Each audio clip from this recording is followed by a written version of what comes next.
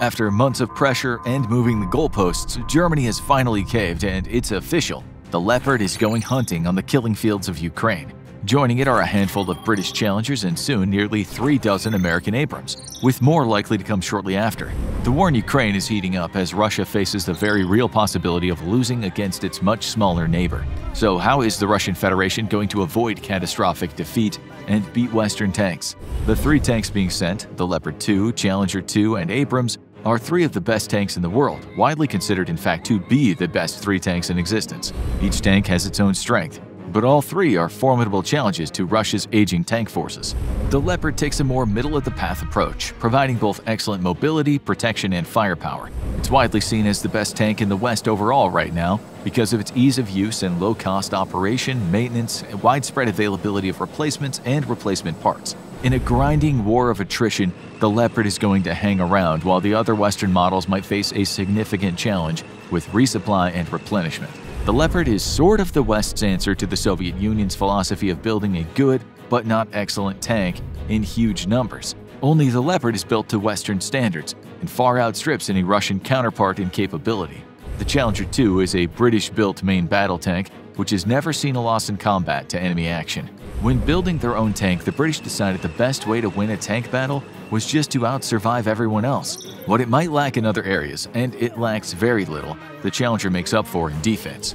During character creation, the British put all the Challenger's extra points into armor class, because the Challenger's top secret Chobham, or now Dorchester armor, is unrivaled anywhere in the world. While many Leopards have been lost in combat operations, not a single Challenger was ever destroyed by enemy action. It even outmuscles the American Abrams in weight by around 2 tons, with its full armor packages installed. Next up in Russia's list of impending headaches is the US Abrams. The tank has a reputation for being as lethal as it is difficult to keep operational. The Abrams shares a lot with the British Challenger in terms of armor, given that the British and the Americans share the technical challenge of developing new tank armor. Its most famous feature might be the inclusion of depleted uranium in both offense and defense. DU armor plating gives the Abrams significant protection at a cost. Many American tankers and even some infantry blame the US government's use of depleted uranium munitions and armor plating for the mysterious Gulf War syndrome that occurred after Desert Storm. Desert Storm is where the Abrams earned its legendary fame though with, like the Challenger, not a single tank lost to enemy action. This should be of special concern to Russian tankers because the Abrams went up against many of the same tanks Russia is using today and absolutely chewed them to pieces. But America was hesitant to provide Ukraine the Abrams for one very specific reason. It's an absolute bastard about maintenance. Like much American technology, it's extremely capable to the point of science fiction, and also a logistics and maintenance nightmare. Instead of a diesel engine, the US installed a gas turbine engine with a monstrous output of 1500 horsepower. That's well and great given that the latest model Abrams is now so heavy that it can't cross most road bridges, but the engine also requires intense maintenance from specially trained personnel. Ukraine has proven that a farmer with a good knowledge of diesel engines and access to a machine shop can get a Russian tank back in service on the side of the good guys. But that's not gonna fly with the Abrams, because the Americans wanted to be snowflakes. They ditched diesel in favor of what's basically a jet engine. This means that in case of a large-scale war, American tanks couldn't even share fuel with their European counterparts, let alone replacement parts. Not exactly a great strategy in a high-attrition conflict. So how's Russia going to win against Western tanks? Well, Russia's proven to be far from a military strategy genius, but they at least aren't sharing their most confidential strategies with the world. However, we can glean some insights from their past and current behavior as well as common sense. For weeks, Russia's been using largely unsupported infantry assaults across the Eastern Front. Operating a Russian tank anywhere near a Ukrainian position has become a very high-risk activity thanks to the proliferation of Western anti-tank missiles. But many Western observers believe that Russia is consolidating its armored forces and training new batches of tank crews to launch a massive offensive in the next few weeks. By that time, a number of Leopards should be in the country, and it's almost certain that Russia will try to concentrate its armor wherever Western tanks are being used. Right now, about 100 Western tanks have been promised, and Ukraine will likely have about 70 or so of these by late spring. That's entirely too few to conduct large-scope operations with, and Ukraine will be best served by concentrating these numbers into select areas on the battlefield. Russia will likely respond in kind, putting as much firepower as possible directly opposite Ukrainian Leopards and Challenger tanks. One-on-one, if both sides have equally trained crews, Russian T-72s, T-80s, and T-90s don't stand a chance against the Leopard 2.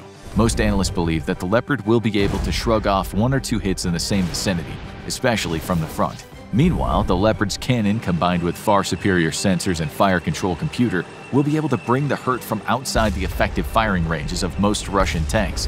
Defeating Western tanks will become a numbers game, with Russia flooding the battlefield with its own inferior tanks so it can overwhelm Leopards and Challengers. This strategy is similar to that used in World War II against the Germans by the West, and while it resulted in terrible losses for Western armor, it did work.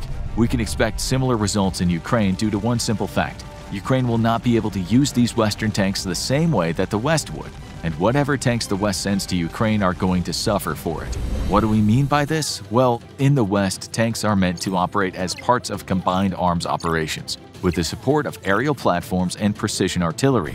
This is how the US and its partners defeated Iraq in the First Gulf War, and how the US did it again 10 years later, despite facing a nearly 10 to 1 disadvantage in numbers. The problem for Ukraine is that it cannot match the capabilities of the US and its allies, and it'll be forced to use tanks with far less support than they normally would have.